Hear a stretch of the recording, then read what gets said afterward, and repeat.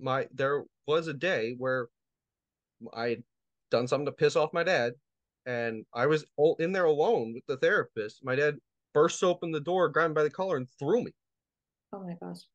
And the therapist did nothing, absolutely nothing. And she, I'm pretty sure she's a mandated reporter, but um, yeah, nothing. I went to school with a big old cut on my face and a black eye. Um, like I told my, hopefully my teachers did some. Uh, my teachers were pretty understanding, but Mhm. and I'm pretty sure they reported it. But um, because while I was living with my dad, the Department of Family Services came to our house three times.